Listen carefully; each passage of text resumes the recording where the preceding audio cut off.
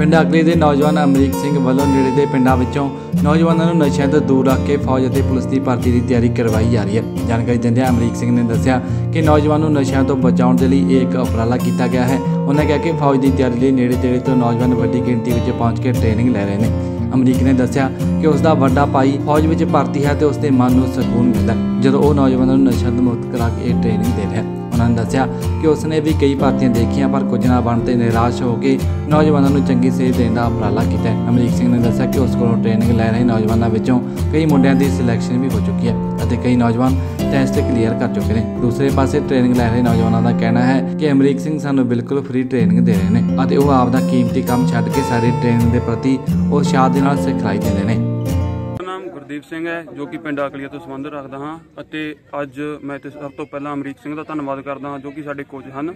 ਉਹਨਾਂ ਨੇ ਇਸ ਪਿੰਡ ਅਤੇ ਇਸ ਆਲੇ ਦੁਆਲੇ ਦੇ ਬਹੁਤ ਸਾਰੇ ਨੌਜਵਾਨਾਂ ਨੂੰ ਬਿਨਾਂ ਕਿਸੇ ਫੀਸ ਤੋਂ, ਬਿਨਾਂ ਕਿਸੇ ਲਾਭ ਤੋਂ ਟ੍ਰੇਨਿੰਗ ਦੇ ਰਹੇ ਹਨ, ਜੋ ਕਿ ਬਹੁਤ ਵਧੀਆ ਕੰਮ ਕਰ ਰਹੇ ਹਨ। ਇਸ ਦੇ ਸਾਨੂੰ ਦੋ ਲਾਭ ਹੋ ਰਹੇ ਹਨ। ਇਸ ਸਭ ਤੋਂ ਪਹਿਲਾਂ ਕਿ ਜੋ ਬੱਚੇ ਫੌਜ ਜਾਂ ਪੁਲਿਸ ਵਿੱਚ ਭਰਤੀ ਹੋਣਾ ਚਾਹ ਰਹੇ ਹਨ, ਉਹਨਾਂ ਨੂੰ ਬਿਨਾਂ ਕਿਸੇ ਪੈਸਾ ਦੇਣ ਤੋਂ ਬਿਨਾਂ ਵਧੀਆ ਟ੍ਰੇਨਿੰਗ ਮਿਲ ਰਹੀ ਹੈ ਅਤੇ ਉਹ ਆਪਣਾ ਪੈਸਾ ਆਪਣੀ ਡਾਈਟ ਤੇ ਵਧੀਆ ਇਨਵੈਸਟ ਕਰ ਸਕਦੇ ਹਨ।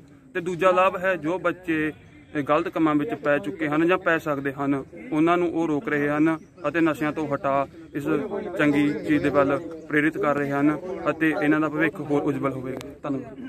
ਆਈਡੀਆ ਜੀ ਇਹ ਆਪਣੇ ਜਿਹੜੇ ਭਰਤੀ ਦੇਖਦੇ ਆ ਮੁੰਡੇ ਹਨਾ ਜੀ, ਉਹ ਸਾਰੇ ਨਾਰਮਲ ਘਰਾਂ ਦੇ ਵਿੱਚੋਂ ਹਨਾ।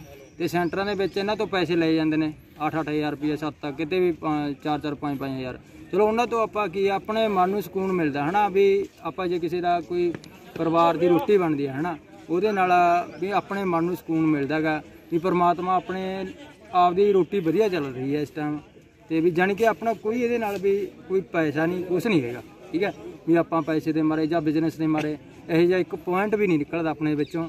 ਤੇ ਬਸ ਆਪਾਂ ਨੂੰ ਮਨ ਨੂੰ ਸਕੂਨ ਮਿਲਦਾ ਪਰਮਾਤਮਾ ਦੇ ਘਰੋਂ ਵੀ ਹਾਂ ਇਹ ਵਧੀਆ ਮੈਨੂੰ ਲੱਗਿਆ ਤੇ ਮੈਂ ਇਹਨਾਂ ਨੂੰ ਕਰਵਾਉਣ ਲੱਗਿਆ ਇਸ ਕਰਕੇ ਕਿੰਨੇ ਬੱਚੇ ਨੇ? ਕਿੰਨੇ ਬੱਚਿਆਂ ਦੇ ਟੈਸਟ ਹੁਣ ਤੱਕ ਪਾਸ ਹੋਏ ਨੇ? ਕਦੋਂ ਤੋਂ ਇਹ ਕਰਾ ਮੈਂ ਪਿਛਲੇ ਸਾਲ ਤੋਂ ਕਰਵਾਈ ਹੈ ਜੀ ਇਹਨਾਂ ਨੂੰ ਤਿਆਰੀ ਲਵਾਈ ਹੈ। ਉਹਦੇ ਵਿੱਚੋਂ 45 ਕੁ ਮੁੰਡੇ ਸੀਗੇ 37 ਬੰਦੇ ਰਨਿੰਗ ਕਲੀਅਰ ਕਰ ਗਏ ਸੀਗੇ ਫਿਜ਼ੀਕਲ ਫਿੱਟ ਹੋ ਗਏ ਸੀ। ਉਹਦੇ ਵਿੱਚੋਂ ਕੁਝ ਮੈਡੀਕਲ ਦੇ ਵਿੱਚੋਂ ਰਹਿ ਗਏ।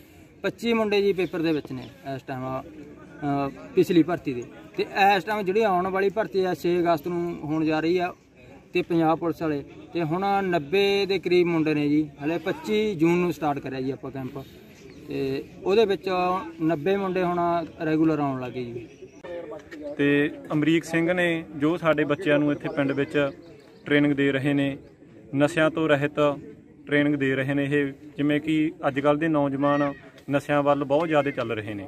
ਇਹਨਾਂ ਨੇ ਗਰਾਊਂਡ ਵੱਲ ਲਿਆ ਕੇ ਸਾਰੇ ਨੌਜਵਾਨਾਂ ਨੂੰ ਨਸ਼ਿਆਂ ਤੋਂ ਰਹਿਤ ਟ੍ਰੇਨਿੰਗ ਦੇ ਰਹੇ ਹਨ। ਅਸੀਂ ਇਹਨਾਂ ਦਾ ਅਮਰੀਕ ਸਿੰਘ ਦਾ ਧੰਨਵਾਦ ਕਰਦੇ ਹਾਂ ਪਿੰਡ ਵੱਲੋਂ ਅਤੇ ਸਾਡੀ ਸੰਸਥਾ ਵੱਲੋਂ ਵੀ ਇਹਨਾਂ ਦਾ ਬਹੁਤ ਬਹੁਤ ਧੰਨਵਾਦ।